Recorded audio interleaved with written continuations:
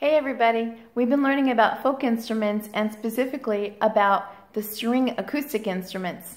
So I wanted to introduce you to my mandolin. Well, we already know that string instruments have a head, a neck, and a body. We know that they obviously have tuning pegs for the strings. And we know that they have a nut and a bridge that hold the strings up off of the neck or the fretboard.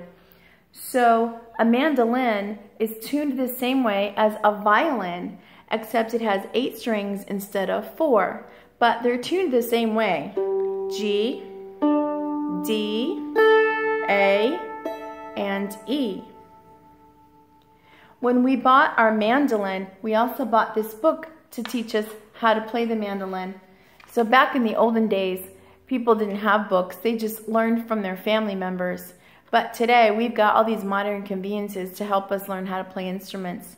So I listened to the CD that came along with this book and I taught myself how to play this song called Wildwood Flower. So before I play it, I want to show you the music a little bit. I'm going to zoom in so you guys can see this closer. It has the five line staff and it also has what we call tablature. So, tablature is a picture of the strings.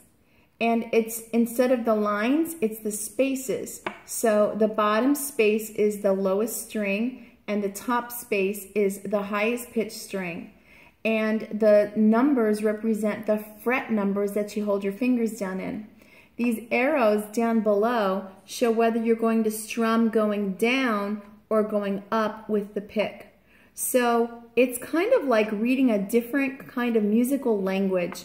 You know, that's what we call music the universal language because it teaches you how to read so many different things in so many different ways. So I wanted you to see the music up close for Wildwood Flower. Now I'm going to play it for you.